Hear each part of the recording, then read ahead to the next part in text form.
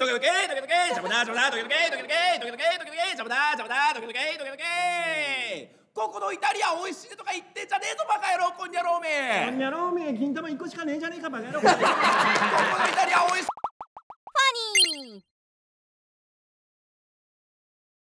あのこの前さ、うん、友達と。仕上がってないねマジで息が。すごいねあなた。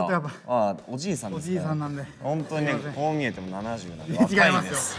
半分です。三十五です。ねあの流行ってるけどあれ知ってます？サッカー。ね面白いですよね。あのあんまりサッカーそんな丁寧に説明するやついないけどサッカーってあれ面白いよね。あの最近初めて知ったみたいな。サッカーって本当面白いなって思うのよ。オフランスを使って文章を作ってください。オフランス？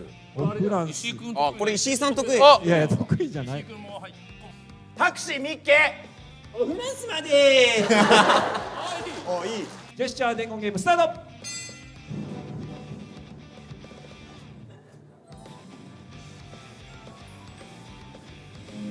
どうだ。ああ、バーミヤン。ハッシュタグでみんななんかこうつぶやいてほしいなと思うんですけど。も、はい。いつも片いつも片玉いつも片玉いつも片いつも片玉。